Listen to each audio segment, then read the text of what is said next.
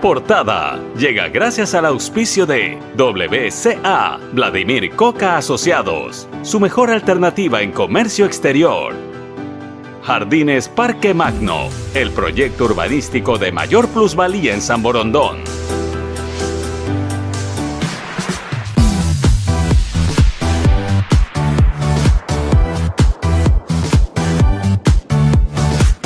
Hola, ¿qué tal? Bienvenidos, soy María Cris Guevara, bienvenidos a una nueva edición de Portada. Y pues en la actualidad, con tantas ocupaciones que las mujeres tenemos, eh, podríamos descuidar nuestra salud. Es por eso que hemos llamado a la doctora Arián Mesa desde Guatemala, nos acompaña eh, para hablar de este tema muy interesante y actual.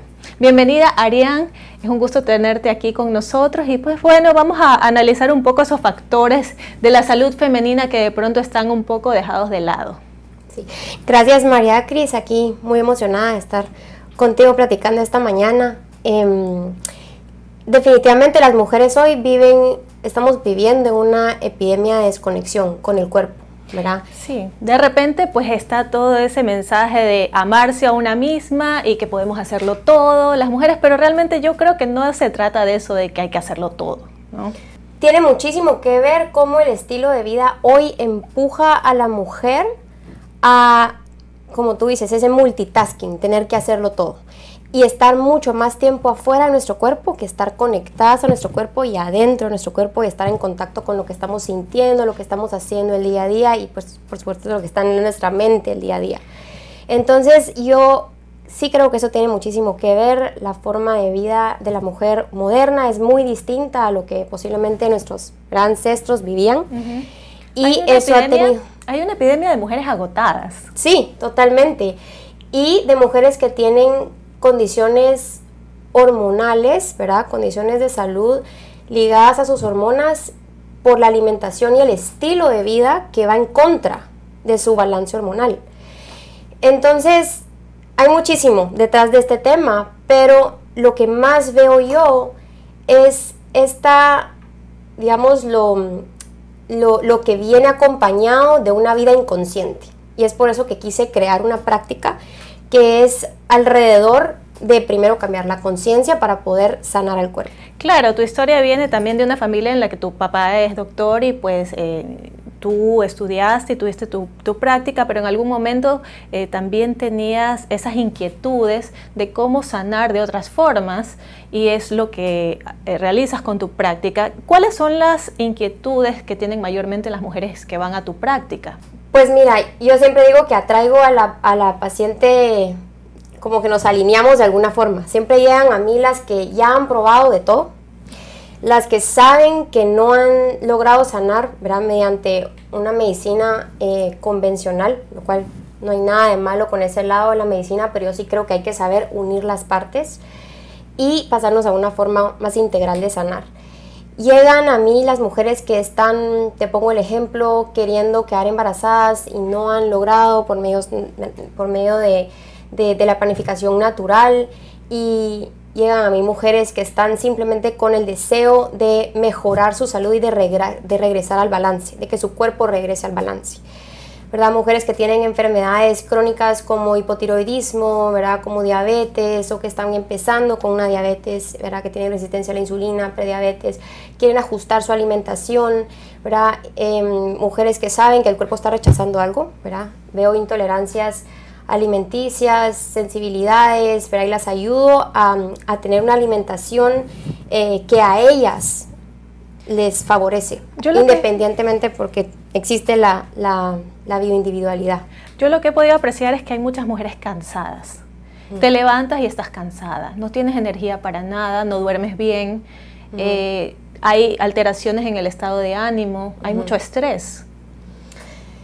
Definitivamente, y lo que hoy se conoce como la fatiga adrenal o el burnout syndrome, que está, verá que se, habla, se está hablando mucho, es justamente esta combinación o constelación de síntomas que representan un cuerpo que tiene fluctuaciones en, la hormona importante, el estrés crónico, que es el cortisol. Esto es, este es un tema controversial dentro de la medicina que conocemos normalmente, ha costado la adaptación de esto como un diagnóstico Pero yo sí creo que muchas mujeres hoy en día están sufriendo eh, ¿verdad? Esta, este, este estilo de vida eh, de prisa que tú mencionas. De pronto la energía masculina está predominando, ¿verdad?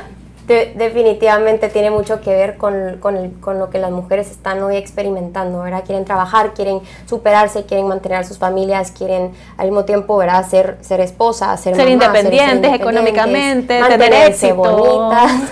hay, tantos mantenerse lindas. Hay tantos checklists. Demasiado. Están pensando en demasiado y lo último que están pensando es cómo puedo hoy, ¿verdad? Sentirme en paz o sentirme bien o comer como mi cuerpo necesita comer y, darme lo que necesita, lo que mi cuerpo necesita para trabajar, ¿verdad? Adecuadamente. ¿Qué debemos hacer? Eh, tu medicina abarca la mente, la alimentación y el estilo de vida. Sí, definitivamente. Em, yo, utilizo, yo utilizo estilo de vida y alimentación como principales desencadenantes de la salud y principales tratamientos pero siempre tengo presente que el centro de todo es lo espiritual, lo emocional y lo mental, ¿verdad? Y eso es algo que la medicina funcional em, me ha enseñado, que no podemos olvidar que ese es el core, ¿verdad? Ese es el centro de, de cómo nosotros evaluamos a un paciente, qué es lo que está pasando ahí, porque eso va a desenvolver lo que hacemos el día a día con el cuerpo. Claro, yo creería que hay muchas cosas que nos autoimponemos las mujeres. Tú hablas de vivir en amor y ser fieles a nuestra verdad. Y en algún momento, cuando vienen todas estas eh, circunstancias que nos abruman, llega un momento en el que hay que parar y preguntarse, ¿es esta la vida que quiero vivir?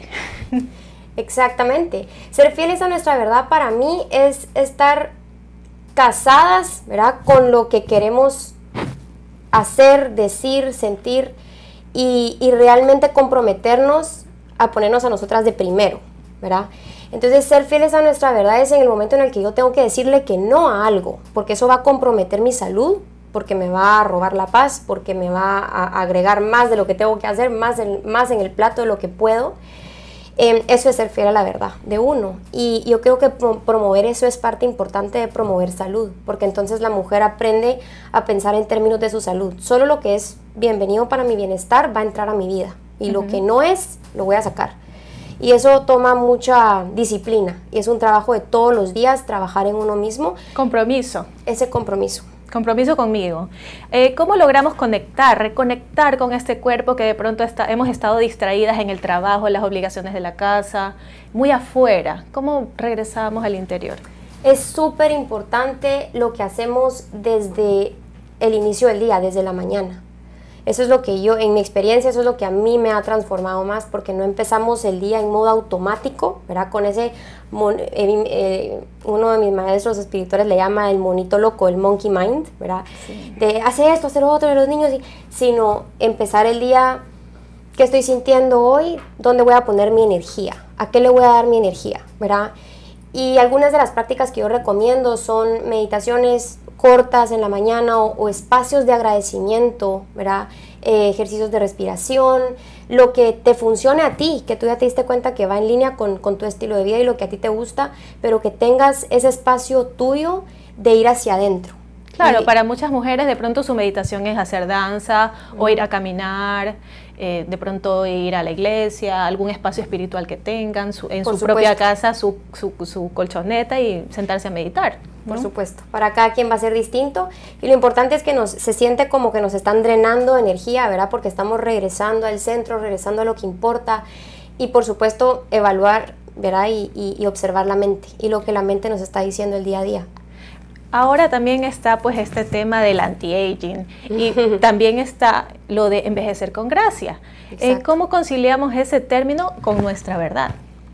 No se pueden separar, no se puede separar una de la otra porque vivir nuestra verdad es vivir una vida espiritual plena, ¿verdad? Vivir una vida feliz y no podemos envejecer saludablemente o envejecer con gracia si no estamos ¿verdad? prestando atención a esa área de nuestra vida que para mí es el centro de todo. Eh, sí, el anti-aging está de moda por todos los, todo lo increíble que la ciencia nos ha enseñado y nos ha revelado sobre nuestra capacidad para influenciar nuestro proceso de, envejecimiento, cómo lo podemos hacer más lento, ¿verdad? Para vernos y sentirnos mejor, más plenas. Para tener una mejor calidad de vida. Y pues con ese tema y más información regresamos luego de esta pausa.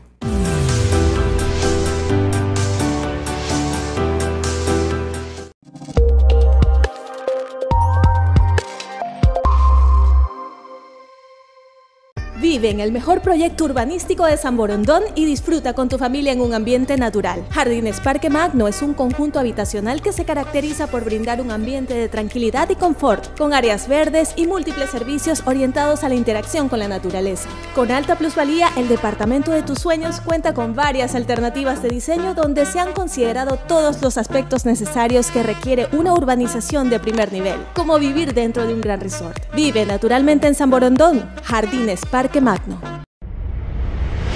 WCA, Vladimir Coca Asociados, su aliado estratégico en comercio exterior, con soluciones confiables para todo tipo de operaciones de la cadena logística nacional e internacional. Nuestra experiencia, sumada con las innovaciones tecnológicas que ofrecemos a nuestros clientes, dará un valor agregado que incrementa sus ganancias y les permite ser primeros en el comercio exterior WCA, Vladimir Coca Asociados, su mejor alternativa en comercio exterior.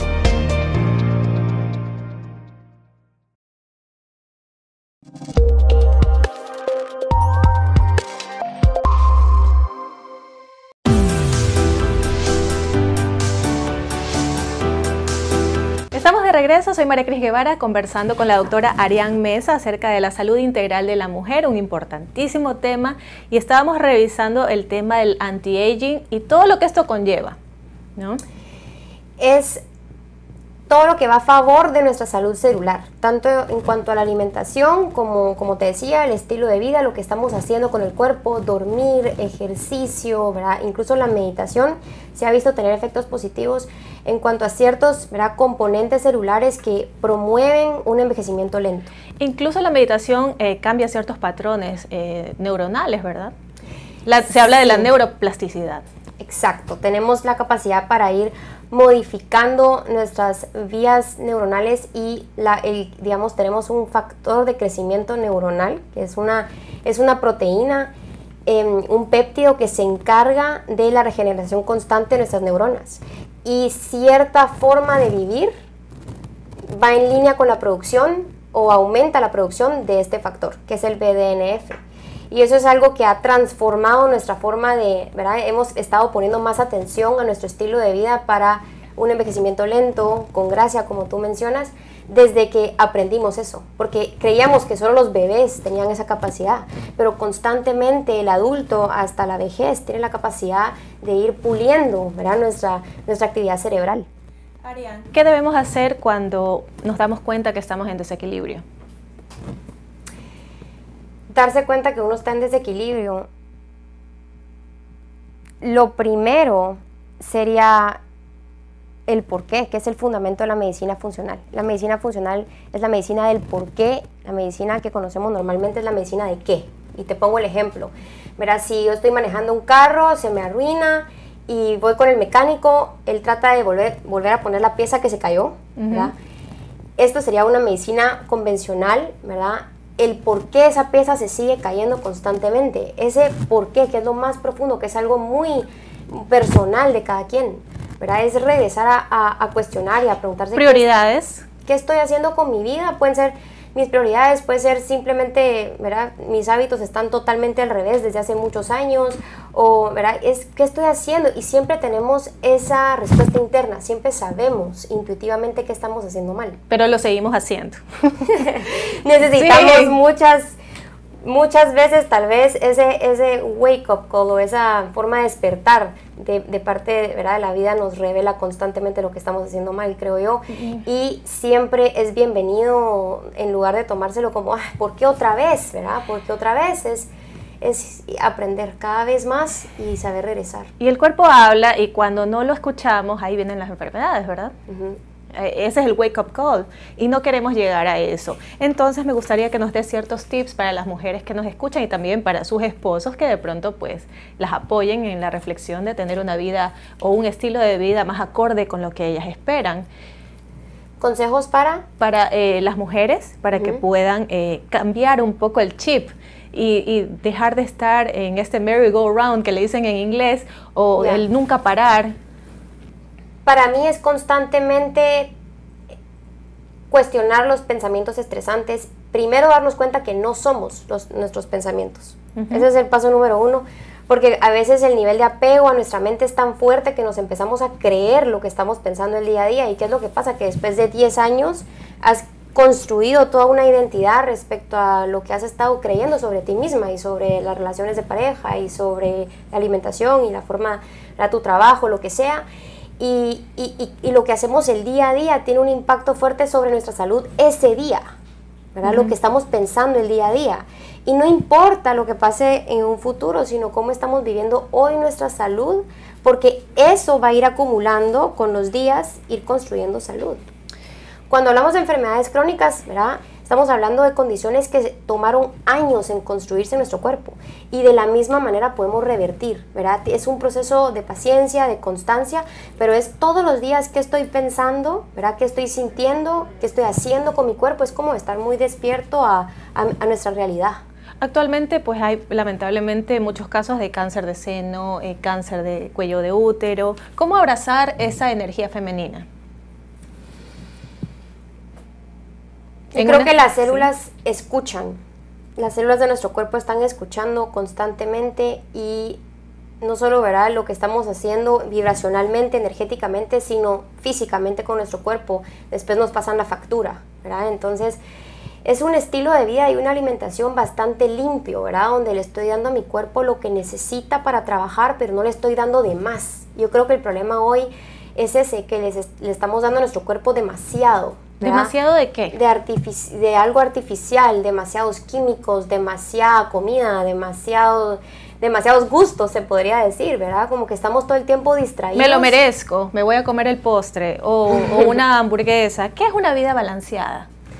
Una vida balanceada para mí es una vida presente, estar en presencia. Si yo estoy en presencia, no importa la cantidad de tiempo que le estoy dedicando a las áreas de mi vida, sino la calidad, ¿verdad? Puedo estar 10 minutos con mi hijo, pero de verdad estoy conectada en ese momento. Y le doy toda mi atención. le doy amor, le doy lo mejor. Entonces, si hacemos eso con todas las áreas de nuestra vida, pues, ¿cómo no vamos a vivir un balance? También es importante destacar la salud digestiva. Eh, hay también muchos casos actuales de, síndrome premenstrual. ¿Cómo prevenir todo eso? Hay demasiado detrás, creo que hay que sentarse con cada mujer, ver exactamente qué es lo que esa mujer está haciendo, ¿verdad? Lo que es indiscutible es que hay una forma de alimentarnos que va en contra de nuestro balance hormonal y eso es todo lo que es proinflamatorio para el cuerpo, todo lo que no es natural. Lo que es indiscutible es que también el estrés está teniendo un impacto sobre nuestro balance hormonal. Lo que es indiscutible es que el cuerpo necesita de nutrientes, de antioxidantes, de vitaminas, de minerales para llevar adecuadas, adecuadamente sus funciones en cuanto al hígado, el desecho, ¿verdad? desintoxicarnos incluso de nuestras propias hormonas viejitas que se tienen que eliminar. Entonces hay pilares, pero hay, hay, hay componentes que son indiscutibles para un balance hormonal, pero aparte es lo que cada mujer está haciendo el día a día respecto a ¿verdad? su alimentación y su estilo de vida, que también ahí es donde hay que ir individualmente corrigiendo. La medicina funcional es, es, es trabajo em, para el paciente y para el médico también, porque no tratamos a todos por igual. Exacto, según su bioindividualidad. Exacto. ¿Qué hacer eh, en casa? Danos algunos tips que eh, las televidentes, eh, las personas que nos escuchan también puedan poner en práctica desde ya para que pongan en práctica desde ya en casa, pues primero limpiemos, limpiemos la, la cocina. La cocina, la despensa. Y algo que yo recomiendo siempre a mis pacientes es tener un diario de comidas. Yo creo que eso es, eso es transformador cuando, cuando lo vemos en papel. O sea, más o menos como hacer un presupuesto. Y uno ve todo lo que gasta, pero acá en cambio ves todo lo que comes. Exacto. ¿Y qué estoy sintiendo cuando comí eso? Por ejemplo, me comí las galletitas Oreo, estaba nerviosa, estaba distraída, estaba aburrida, estaba en el tráfico, estaba... ¿Y qué estaba pensando cuando me lo comí? ¿Verdad? Estaba pensando en un problema que tuve hace un mes o lo que sea. Y, y, volvernos más conscientes de lo que está entrando a nuestro cuerpo. Eh, me he dado cuenta que hay mucha hambre emocional. Eh, ¿Cómo gestionar esa hambre emocional? adecuadamente? cómo darnos eso que estamos necesitando. Trabajando solo la mente, yo creo que ahí tenemos que olvidarnos del tema de la comida por un tiempo y solo enfocarnos en qué estamos pensando y es eso o no cierto o es eso o no real, ¿verdad? Y al hacer la paz con nuestra mente y con lo que estamos pensando el día a día, vamos a dejar de sentir tanta ansiedad, entonces vamos a dejar de comer por ansiedad.